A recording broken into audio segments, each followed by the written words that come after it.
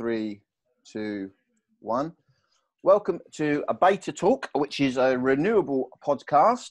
Uh, we've got a very interesting episode for you today. Firstly, I'd like to thank my sponsors for season two, which has come to an end, which was MCS certified. And we're now in the interim period before I sort of go into uh, season three. But I've got a fantastic episode for you today. It's the first one I'm doing. Um, it's not the first one I'm doing over Zoom, but it's the first one where I'll upload the video uh, file as well for you to maybe look at as well. So I'm going to introduce you to my guests. I've got Lee Fischer, who's an engineer I know. Lee's up in uh, Lincoln. Very, very good engineer if you're up that way. Uh, he's a gas engineer, but he obviously knows a little bits and pieces about renewables as well. I'm going to introduce you to Richard, who I've had on the show before. Richard's involved in policy, and he work. Well, he's the uh, Energy UK Research Centre. Have I got that right, Richard? Uh, the UK Energy Research Centre. Good. And also, we've got Jan Rose uh, now. Have I got that right, Jan? Did I mention that right? Jan Rosenow, yeah. Rosenow, and you're also involved in policy, and you're, well, the acronym is RAP, which is the, and you're the European Director of the Regulatory Assistance Project. Now, I'm going to bring you, uh, you in first because you and Richard have just wrote some bit of, or you've just wrote a paper on something. So let's talk about that. So, Jan, what have you written? Sure. Thanks, Nathan.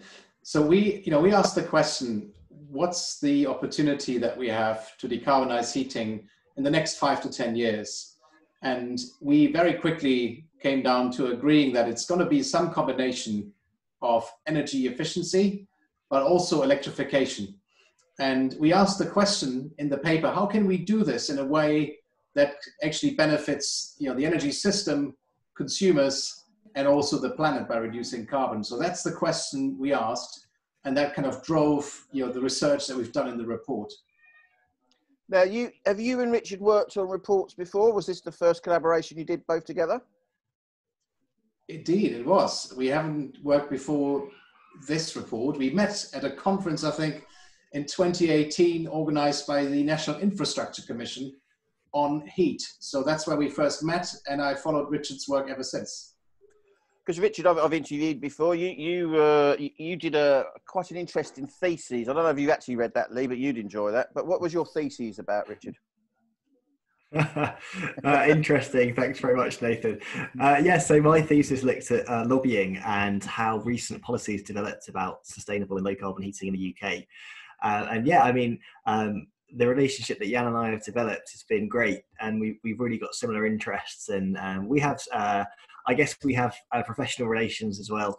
Um, but yeah, I, I think it will be the start of a very positive relationship. I mean, it's been great so far um, and the report that we that we worked on. Um, I think um, because both of us have uh, done uh, the things that we sort of said in the report ourselves, yeah. Um, and, and we both um, got to know each other better through you know, speaking about how our systems are working and what we were planning. Um, and then it was only really November last year when we started working on this report, which was published in March. Um, and we actually uh, we're doing a, um, a, seminar, an online seminar on it, um, which will be on um, it's Thursday coming, um, and we've got over 600 people signed up. Uh, so um, it seems to have been really popular, and I think it will be the start of hopefully uh, many reports. And we've already spoken about doing lots more research work together. So it's great. How, how, do people find that seminar if, if they if they want to? Uh, so the link uh, is on the uh, RAP website, I think, Jan, but also we've both shared it on Twitter. Um, I think Nathan, you might have retweeted it earlier as well, um, so we can retweet it again. Um, I'm not sure whether it will be recorded because we're doing it live. Yeah. Um, but we can check on that. Well, if, hopefully, if I get this recording out, I can actually then put the link on on the uh, description of the podcast. Now, what, what was the main findings of your sort of uh, report that you did, or what, what, was, what were the sort of conclusions you come to? So, if I may answer that question, uh, Nathan, you know, one uh, argument that's sometimes being made uh, when people consider installing a heat pump um, is that you know, we simply can't scale this up because the power system won't be able to cope. I'm sure you've heard those arguments before. You know, there would be issues with the local network and significant peaking problems. So the, the main finding from our work was that actually heat pumps can be quite flexible if you allow them to do that and if you schedule them in a smart way rather than just fit and forget. And that's what both Richard and I have done. So we actually don't run our heating system pretty much between four and seven in the evening. Uh, and you know that delivers significant cost savings, but also, of course, reduces the peak. You know, when you when you actually look at our consumption, it's really low between four and seven o'clock in the evening. Are you both on uh, Agile Tariffs, Octopus Energy? Is that, are you both on it? Yeah. Yeah. I'm going to bring in Lee because obviously Lee is a good friend of mine and a, good engineer, and obviously you're very much involved with gas mainly, aren't you, Lee? Now, indeed. From an engineer's perspective, what do you think are the main hurdles for for the sort of the mass of electrification of heat? Really? God, the chasm's huge. How long have we got, Nathan? Um, yeah, I mean, I, I think um, Rich on yours, you've gone for um, air source, haven't you, and then uh, underfloor heating. One That's of right, the big yeah. one of the big issues why you actually invited me on this tonight, something I mentioned the other day. It's like just looking at the you know performance of the building as a whole and that side of things, and you know trying to get a grip. It's kind of we've really got to try and break this down, which I've you know I've glanced over the report and breaking it down into steps we can actually implement now. You know, trying to look at the the whole building as a thermal mass and heating that if we can, but you know, silly things. Even if right now we're still fitting gas boilers, well, let's look at the emitters let's make sure the flooring's right to store heat. Let's put underfloor heating or let's design it as low temp. Even if it is a gas boiler on the wall today, well, maybe in five or 10 years, if the emitters are right and the pipeworks are all right, then it's just kind of, you know, pick those baby steps we could do today for the, you know, when we get the rest of the pieces of the puzzle sorted. I'm just taking notes on that, Lee, because that's really interesting. and is, is there, yeah, it's always research time for me. Is there anything you think? So uh, for new build, I think you know there's loads of progress you can make now, and I think it wouldn't be that difficult to ban gas no. boilers from new build, and you know, that's what the government's saying they're going to do in 2025. Um, you know, fitting a heat pump to a new build is not that difficult, uh, and the, the, the, clever bit of the heat pump is now in the controller, so you you sort of put it in, and it can be a lot of it can be optimized. Um, uh, online and you can sort of do lots of fault testing online.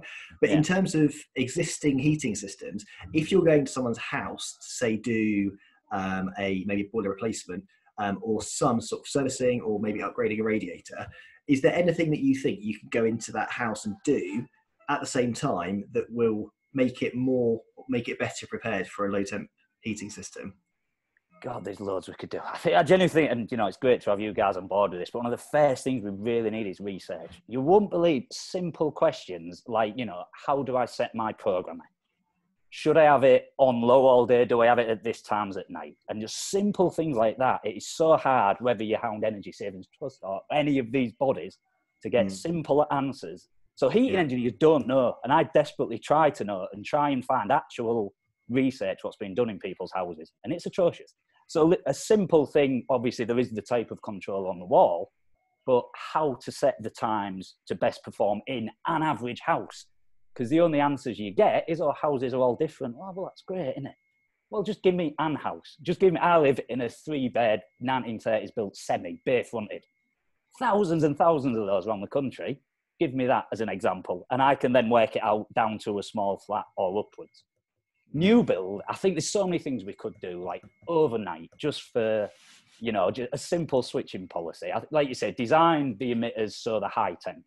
Say that whatever heat, you know, and take the gas argument out of this. Take whatever heat source you're putting in has to be within a certain percentage of the requirement of the building. So we're not putting a 40 kilowatt boiler in a building which needs five kilowatts, you know. And also make sure whatever the heat source is is capable of ramping down to a certain level is another thing that just doesn't happen. You know, again, if we said what if you maxed out at the maximum, but also said it had to ramp down to say 10% of the peak load, that this technology is out there, but it's just not regulated at the minute. And so it's a way we could easily get to grips with the wastage right now. Yeah, energy, and we're going to pick up on that. Energy wastage is something uh, some of us we talk about a lot, don't we? I know Rob Berridge is a big sort of proponent of this word, and we are wasting energy like uh, you wouldn't believe. And he's also uh, very, very much interested, as we all are, is one of the first things you can do in any home, whether you're retrofitting or, or the new build, is actually just work out the calculations. How much heat does it need? And then you've got a good starting point. and we don't tend to do that in the heating industry. And unfortunately, the heating industry um, has been a little bit lack in, in, in pushing that little simple process. Um, you know, it hasn't really pushed it onto us. You know, we used to do it back in the day. I'm not saying that everyone back in the day was a greater engineer, not at all. But as as our industry grew, and it did grow very, very quickly, um, it's uh, something that got lost in the ether somewhere. You know, just that simple calculation. Once you've got that calculation, and like Lee's saying, you know, we can build new houses. Um, you know, let's scrap high temp emitters and emitter systems and design them to be low temp. So even if a gas boiler is going in like a year later, it can be swapped over quite effectively. But yeah, we, if we start actually calculating homes right from from the word go, um, that, that's a good start anyway. Jan, what is the main sort of role you do at the um, you uh, the, RAP is the acronym I'm going to use again because it's uh, easier to say. we say RAP as well. Um, it also sounds a lot better, doesn't it, than oh, so, yeah. Regulatory Assistance Project. Now, the name actually, to explain where that comes from, it was you know, three former regulators in the United States who thought, you know, we should train the next generation of regulators and you know, maybe have a, a two-year project and got some funding for it. That was in 92, so you know, a long time ago and the project just continued and continued and now we're going for 28 years. Uh, so we're still providing that same guidance to what is called regulators in the united states. We probably would more talk about policymakers in the uk you know people like uh, policymakers in BEIS for example. I know you had a whole episode with richard i think where you asked him the question you know what is a policymaker? And he gave a, a pretty interesting answer to that Mm. Um, but yeah, we, we, we essentially advise people who craft, design, and implement policy. That's, that's in essence what we're about. And we, we don't do that from a sort of purely academic perspective, but we look at what works elsewhere in the world. You know, what works well in the US, what works well in India and China, where we have offices, what works well in other European countries. And then we take those examples and present them to policymakers to pick, you know, the best practices really to implement in a given location. So that, that really is what we're about. And my role is to direct a team of 14 people to do that work in Europe. And we all scattered across United uh, Kingdom, but also the European Union. So you've mentioned other countries. I mean, is there a country that stands out that seems to be getting it right? I don't know. Did you hear that, Jan? Sorry, Nathan. My somehow my volume just dropped to zero. Um, can you say that again? Yeah. So you, you mentioned other countries. Is there is there another country that that seems to you to be getting this right, or is it you know is doing things a little bit quicker and better maybe than the rest of us? So obviously interesting is Sweden um, to look at when we talk about heat pumps because they have, I think, the largest penetration uh, or Finland. I think they install the largest number of heat pumps per um, per person per year. But they also have a very unique situation. You know, in Sweden, you have a lot of low carbon electricity, a lot of hydro, which is very different to um, places that have a gas grid like the UK. But we can learn a lot, I think, from Sweden and actually Richard's uh, employer, the UK Energy Research Centre. They did some work, I think, a few years back and looked at Sweden and why they moved so fast on heat pumps. And the main lesson there, I think, was that actually you know, using heating oil and gas in Sweden is simply not competitive because the taxes are so much higher on, on fossil fuels than on the clean electricity. Um, and that's, of course, the reverse in the UK. We pay a lot more tax and levies for electricity than we put on heating oil and gas. Uh, and that distorts you know, the economic signals that the consumer is getting. Uh, and who can blame someone who's making a decision about a heating system if you want to go for the most cheapest op- option, you probably have got to install a gas boiler in the UK. Uh, unless you go into the octopus tariff like Richard and I have, and then you save some money, but most people won't even know what that is. I think what, what you're saying there about the energy prices is huge. I, I said it the other day again on Twitter, where roughly thirty pound a month averaged over the year is my space heating cost for this three bed semi.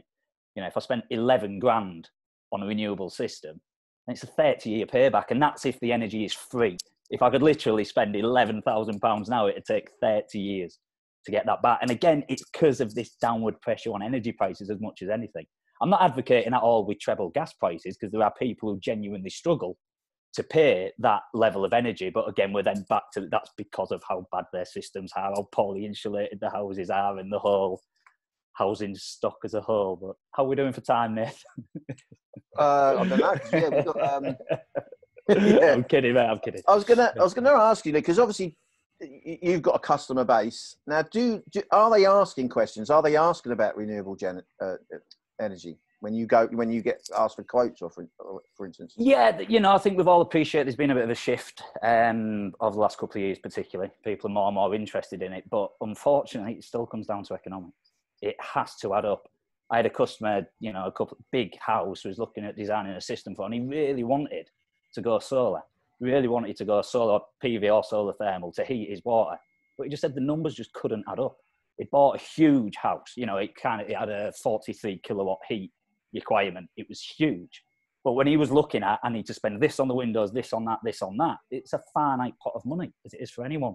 And he just couldn't justify putting solar on because it just wasn't worth it for the money reason. And it's sad, you know. It's, and this is quite a passionate guy who really wanted it.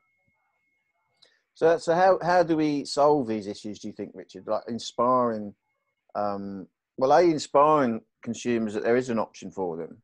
I mean, it's a hard one, don't get me wrong. This is, this is a very, very big problem. Is it changed the mindset of our consumer base, which is a very diverse consumer base. And obviously, some have access to money, some people don't have access to money. I mean, what sort of did your report sort of focus on this at all about what we could do with the consumer? I think so. In terms of the report, the the key takeaway for you know the industry really is that this needs to be packaged up by someone. So if you do get a heat pump, and if you do the energy efficiency, um, and if you use a time of use tariff, you can get these really significant carbon. Uh, so you can get you know carbon reduction wins, um, but you can also get um, you know, cost minimal costs. So as, as Jan and I've both said, we've done this, um, and we're now paying basically less less um, per unit of heat than we would be for gas in terms of our bills. Mm. But there was still that big upfront cost of the heat pump in the first place. I was fairly savvy in that I got um, a, a non MCS registered um, heating engineer to install it, and it was through this umbrella scheme. Mm-hmm. It wasn't easy, but it saved me some money. Mm. Uh, but still, um, I fundamentally think heat pumps are too expensive, uh, and you know we've got this really small market for heat pumps in the UK, and um, they they should be less. There's just not enough competition, uh, and they can be cheaper because they're actually fundamentally quite basic bits of kit. They're just big big fridges. Know, we all know that. Um, so we need to get heat pumps cheaper as well, and we need to sort of grow the market. Um, and in terms of the consumer side, unfortunately, you know, it's it's like electric vehicles and solar. So you might have people asking you to, for a solar installation. Um, solar's got that sort of bling factor. It's got that that shiny electronic. Uh, it's always referred to in the policy world as having a sort of sexy feel, and it's the same with you know electric vehicles and Teslas and stuff. Heating doesn't have that. You know, people don't even appreciate a lot of the time that heating is this particularly um, unsustainable thing that we do so I don't, there's probably some sort of natural learning to go on, but at the same time, I think regulation has got to be in there. And um, as difficult as it might be, this balancing out the fact that you know, gas is uh, you know higher carbon than electricity, um, or certainly using a heat pump is a lot more sustainable. You know, there's probably got to be some sort of pricing measure introduced at some point. Um, in the same way that we have, you know, we've increased car tax for the most polluting vehicles. You've probably got to do a lot of stuff together so I don't know if that answers the question, Nathan, but basically there's lots to do um, and there's lots of different fronts where battles need to be fought. And, and who's who's going to help us most with this? Do you think, or who should be helping us most with this? I mean, it, does it always come down to government, or is there things us, us installers should be doing? Um, well, I mean, the government's been saying for since 2006 that we need to have loads and loads of heat pumps, and um, they put the RHI in place, and that came in you know, five, four years late, maybe. Um, and it's it's been underperforming for all of those years.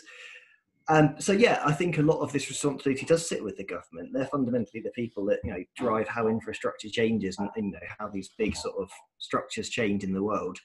Um, so uh, I don't want to say blame, but so some of the blame of why we haven't done much in the past few years does sit with them. Um, and if you look at the, re- the announcements that have come out today about what the policy is, the new policy will be for uh, low carbon heating in the future. It's it's fine, but it doesn't no it doesn't increase the level of heat pumps. It's just sort of maintaining the market where it is now, which is you know miles away from where we need to be. Mm. Yeah, miles.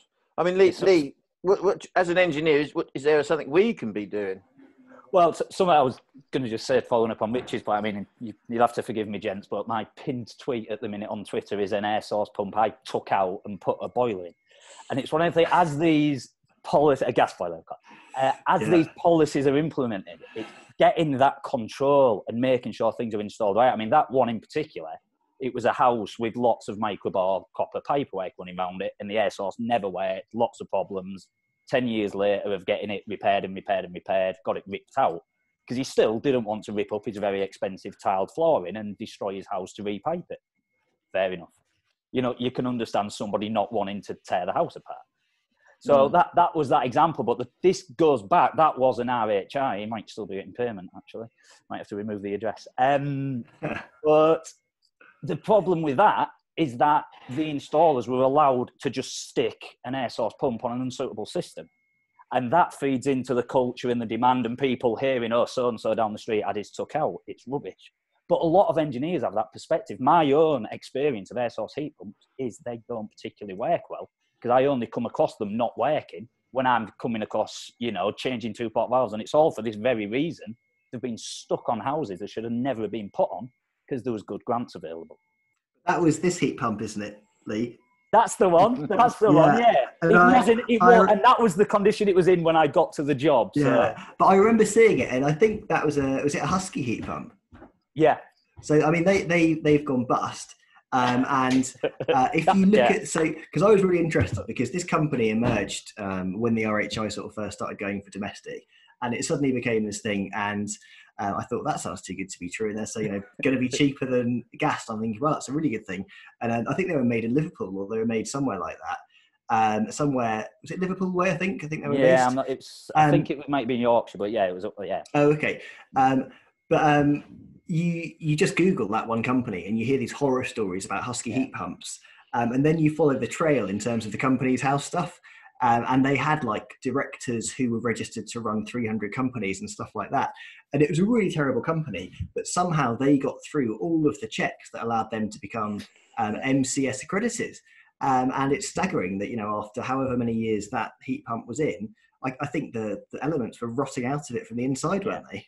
Yeah, I mean, there was problems with the actual the wet side of the installation, which I won't go into, but the actual pump outside, it kept breaking down. It was poor mm. quality. It was a cheap import, rebranded as Husky or whatever name was on it, and the homeowner actually couldn't get got to the point he tried as hard as he could to get spares for it, and that was because obviously the impellers had actually gone, as you can see by that picture, and that was the final thing. mm. And that, but that's just a simple thing of quality control, mm. and that's an issue we have right now in gas boilers, which can be so cheap. You, know, you can yeah. you can spend four hundred quid on a gas boiler right now. It's not going to be very good. It's not going to ramp down very low. It's not going to be compatible with fancy controls but they're out there. And again, it's just one of the many pieces mm. of the puzzle, isn't it? It's just yeah. I mean that that's been a major uh, success in Sweden. I think that they had the same problems. I think in the 80s when consumer confidence in the products was really low. Um, yeah. yeah, there were lots of problems, poor performance. You know, there's kinds of things that you described. You know, the wrong the wrong technology in the wrong house and yeah. they set up i think a consumer council where you could you could go as, as someone who you know had bought a product that didn't perform. And over time, they ironed out the, the kind of cowboys in the industry and made sure that there were good training standards you know, that were adhered to across the entire industry. And I think now confidence is very high in, in, in heating technology in Sweden, which I think comes down to actually the government setting up this consumer council ultimately and having really high quality standards.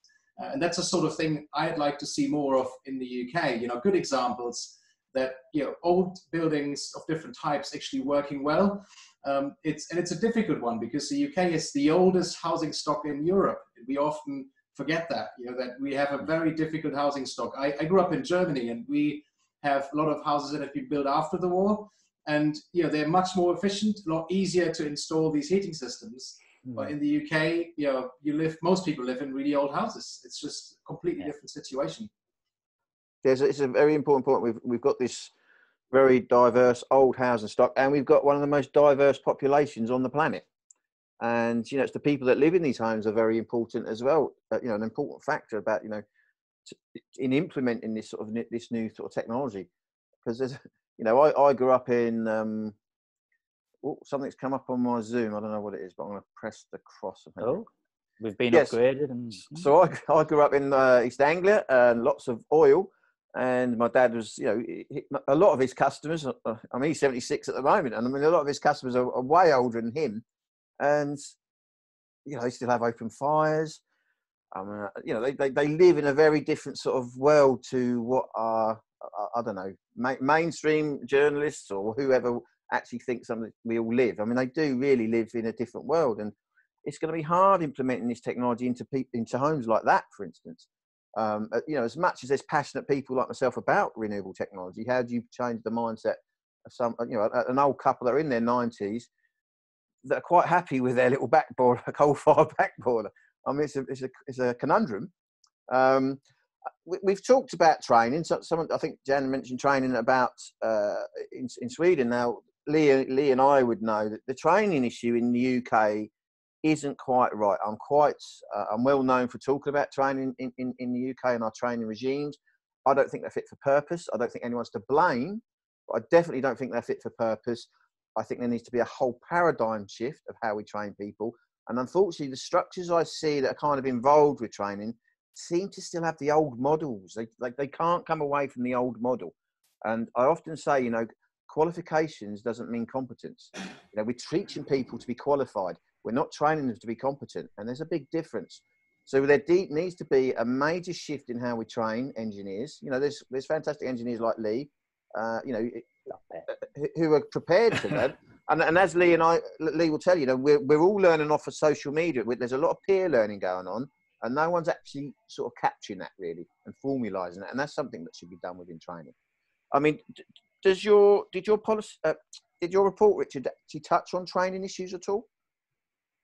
No, we didn't really look at training. Actually, we looked at sort of a, an international perspective in terms of how you can fit electrification as a big thing into you know, national energy systems. So um, we, we, didn't look specifically at training. Um, I think it does vary significantly between countries. Mm. And I was having a chat again via Twitter at the weekend about you know the, the, the regime or the system the the French use for heating controls. Mm. Uh, and someone said uh, that someone that used to actually be in charge of the renewable heat incentive policy uh, was saying that when he lived in France, um, his oil heating system a decade ago um, had full weather compensation um, and um, it was fully automated and had no thermostats. Um, and I mean, that is so far away from where we are. Mm. Uh, and there's just so many different standards between different countries that I don't think there's one thing you can say about training. Um, and you know, look at how actually builders uh, like are sort of governed in Germany. You, know, you, you have this federation of master builders, and to be in charge of a job, you have to be a fully, you know, uh, a, a, sort of accredited builder. Um, in the UK, that just isn't isn't the case. Um, and you know, you don't need to have any qualifications necessarily to do any of this stuff. I mean, Lee, I, I think you, I think you made the tweet. This, I don't, I don't know if I should. Uh, I'm trying to think of my off gym rules here, but be careful. You, you made the tweet. Uh, possibly the biggest, largest boiler company on the planet. How uh, their Twitter header banner has gas boilers on on their UK Twitter feed, but in France it has uh, air source heat. Oh, that that that wasn't me actually. So oh, you're, not, you? you're not implicating me, but no, yes, there was a large manufacturer. Yeah, and it was just that difference from the UK page had a gas boiler as it's look at our product, and yeah, the French, French page was the. It's air. interesting. So that manufacturer, and I, am I allowed to name them, Nathan? Because I've spoken to them before. I'm, and, a, uh, I'm, a, I'm a Vaillant installer, so yeah, I can name yeah. Vaillant. They're a wonderful so, company. I love yeah, they the are a good company. And they make very good air source heat pumps as well. They do. Know, they, they're a oh. big manufacturer of air source heat pumps. Um, but when I spoke to um, someone from Vaillant, they said that if, if the UK market were to switch to air source heat pumps, they could literally have uh, a manufacturing line within two weeks set up to build air source heat pumps in the UK. Yep. Um, it is possible, and uh, you know, none of this is sort of it's not rocket science putting a heat pump in a house. Uh, so um, yeah, I'm not surprised that they have a gas boiler because they sell a lot more gas boilers in the UK. Um, but in, in France, you know, gas heating isn't as big a thing, and they have more people on electric heating. So um, that probably shouldn't surprise us too much. Yeah, we, we actually found the same in our work in Poland, which is, you know, Poland is even worse because they have mainly coal uh, heating. Yes, really inefficient coal heating and really polluting, uh, really bad air quality. And, and, you know, I met, went to talk at the annual gathering of the Heat Pump Association, and there were 600 people, and a lot of the people from industry they were coal boiler manufacturers. And I was astounded and asked them why they showed up at that gathering. But they said, you know, we see the market is changing and we actually have the skills to install a new product. Um, and, you know, we actually want to make an investment in, in this area and train people up and uh, develop a new skill set. And mm. I was really astounded by how uh, agile these companies can be. You know, once they see that there's a clear direction of travel, and I think that's what we're lacking in the UK right now it's not clear where what is the direction of travel. We have you know piecemeal approach to this whole topic. You, you, are right. I mean, like like we've just mentioned, so Vaillant are very. I mean, I know a lot of people in Vaillant. A great company. There's some great great people. All the boiler manufacturers in the UK have some great great people, and they are hedging their bets. Uh, you can't blame them. You know, you can't blame them. I suppose. I mean, there are there are some, as we know, and I'm not going to mention it, but they are they are going down the hydrogen route. Um, that's the sort of the game plan they're betting on. But I mean, they they they're quite capable of, of switching as well. Um, it's just about sort of maybe uh, encouraging them, nudging. I think is the is the new word of, of this decade, nudging them along the right lines. But um, I don't know how that's going to go. But um, well, it looks like we've got our 40 minutes. That, that so that went quite quick, and I only get 40 minutes apparently on this on this Zoom package that I have. So uh, I think we'll we'll revisit this topic uh, again, obviously, and um, you know, Richard's a usual guest. I've had uh, Leon before. Jan, it's very, very nice to have you, and I'm sure we're going to do plenty more as well. Um, we're all going to look uh, nice on YouTube when I upload it, because obviously I'm well known for my podcast that's just audio, so no one actually ever sees me. Next time, I'm going to get a bookcase like Lee. oh, it's all in the staging.